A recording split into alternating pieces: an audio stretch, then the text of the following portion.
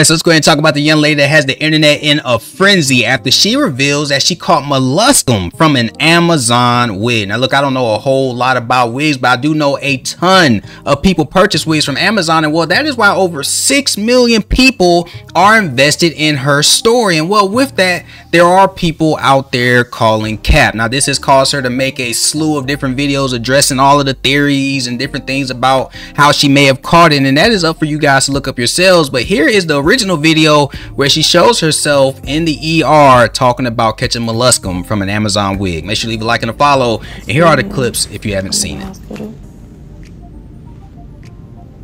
Because I bought a wig off of Amazon and I ended up with molluscum.